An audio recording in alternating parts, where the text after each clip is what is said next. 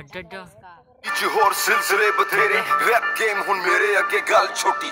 ਉਹ ਵੀ ਦੌਰ ਸੀ ਜਦੋਂ ਮੈਂ ਛੱਡਿਆ ਪਿਸ਼ੌਰ ਫਿਰ ਕੈਲੀਫੋਰਨੀਆ ਦੀ ਗਲੀਆਂ ਚ ਖੱਡੀ ਮੈਂ ਡੌਰ ਪਰ ਹੁਣ ਵੀ ਮੂਸੇ ਤੋਂ ਲਾਹੌਰ। ਸਾਡੇ ਹੋਈ ਸੇ ਲੀਵ ਨੇ। ਹੁਣ ਮੌਤ ਕਿਵੇਂ ਲੁੱਟੇ ਨਾ ਕਮਾਇਆ ਜਿਹੜਾ ਜ਼ਮੀਨ ਤੇ। ਹੁਣ ਇੰਡਸਟਰੀ ਰਿਸਪੈਕਟ ਕਰੇ ਨਾਜ਼ ਮੈਨੂੰ ਮੇਰੀ ਜੀਨ ਤੇ। ਪਰ ਕਦੇ ਕਦੇ ਅਜੇ ਵੀ ਨਹੀਂ ਆਂਦਾ ਮੈਨੂੰ ਆਪ ਤੇ ਯਕੀਨ ਕੇ ਮੈਂ ਜਦੋਂ ਦੀ ਦਿਨਾਲੀ ਕੱਢੀ ਇੰਡਸਟਰੀ ਨੂੰ ਗਾਲੀ ਕੱਢੀ ਹੋ। ਕਮਾਈ ਮੋਟੀ ਮੇਰੀ ਸੈਕਟਰ ਚ ਹੁਣ ਕੋਠੀ ਮੇਰੀ ਟਾਈਮ ਹੋਇਆ ਚੇਂਜ ਥੱਲੇ ਉਹੀ ਕਾਲੀ ਰੇਂਜ